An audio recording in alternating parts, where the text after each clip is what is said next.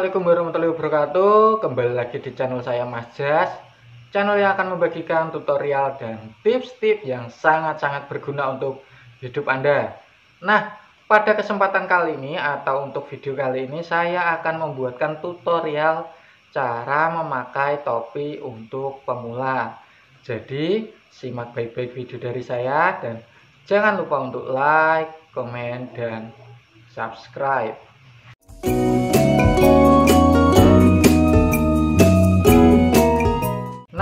pada kesempatan kali ini saya akan membuatkan tutorial cara memakai topi untuk pemula. Jadi, mungkin di cuaca yang terik atau panas seperti saat ini, memakai topi adalah salah satu cara untuk melindungi diri kita agar tidak terkena panas atau kita tidak kepanasan secara langsung. Jadi, fungsi topi itu bisa digunakan untuk melindungi kepala agar tidak terkena panas matahari ataupun juga sebagai gaya atau fashion. Jadi, simak baik-baik video dari saya dan jangan lupa untuk like, komen, dan subscribe. Nah, pertama-tama, sebelum kita memakai topi, alangkah lebih baik kita mengetahui dulu apa sih yang harus atau kita perlukan untuk memakai topi itu sendiri. Yang pertama, kita harus mempunyai kepala. Kenapa kita harus mempunyai kepala, Mas, untuk memakai topi? karena topi itu kebanyakan kita pakai di kepala caranya gimana mas kita mengetahui kita itu punya kepala atau tidak nah kita bisa datang mengeceknya di rumah sakit ataupun di e, tetangga kita kita bisa minta tolong mengecekkan kita itu mempunyai kepala atau tidak. Jadi ketika kita sudah mengecek kita sudah memastikan mempunyai kepala kemudian kita siapkan topi itu sendiri untuk kita pakai.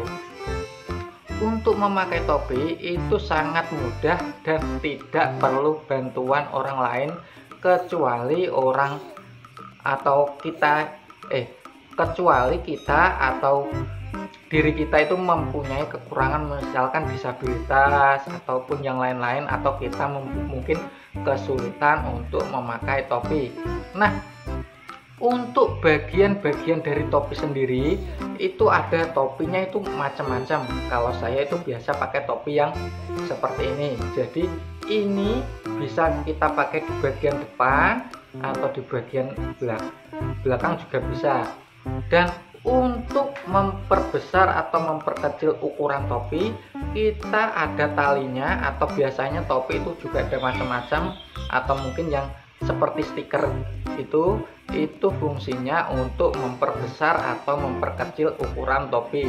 Jadi kita sesuaikan ukuran topi dengan ukuran kepala kita agar kita juga nyaman ataupun tidak kesakitan ketika kita memakai topi tersebut nah kita langsung ke tata caranya setelah kita memastikan kita mempunyai kepala kita pastikan kita mempunyai topi kemudian kita bisa mulai memakainya. Caranya, peganglah topi tersebut seperti ini. Kemudian kita letakkan di atas kepala kita seperti ini. Ini bagian yang seperti cekungan ini, ini adalah fungsinya untuk atau kita pakai pada kepala kita. Jadi kita bisa memakainya seperti ini.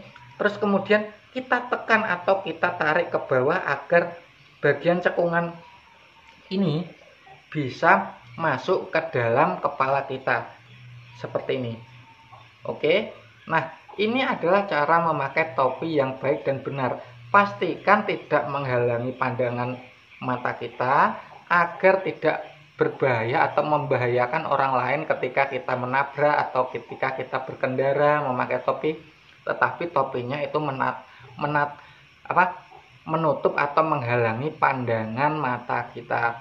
Oke, mungkin tutorial saya cukup seperti itu.